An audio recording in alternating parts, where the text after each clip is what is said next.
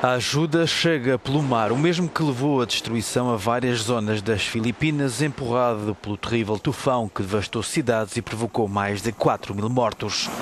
Uma patrulha das Forças de Defesa do Japão desembarcou de um overcraft na vila de Tolosa para ajudar na desinfecção.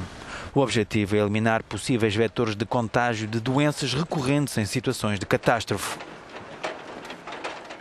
A última ocasião em que as Forças Armadas japonesas estiveram nas Filipinas foi durante a Segunda Guerra Mundial. Agora a missão é humanitária. O tenente Hiroshito explica porque é que a contribuição nipónica no auxílio aos filipinos pode ser preciosa. Fiquei muito chocado. Os desastres naturais são coisas terríveis. O Japão também viveu uma experiência semelhante durante o grande terremoto oriental japonês. É fantástico para nós usarmos a nossa experiência para ajudar. O auxílio às Filipinas chega dos quatro cantos do mundo e a vida continua. A população é obrigada a recuperar depois de tudo ter sido destruído.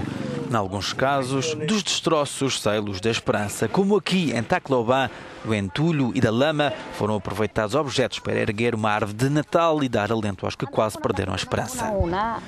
Foi a ideia da minha filha. Três dias depois do tufão, aquela árvore de Natal estava ali junto aos destroços. Ela agarrou-a e reparou-a porque estava partida toda a desfazer-se. Num dos países mais católicos do mundo, a época natalícia dura de setembro a janeiro.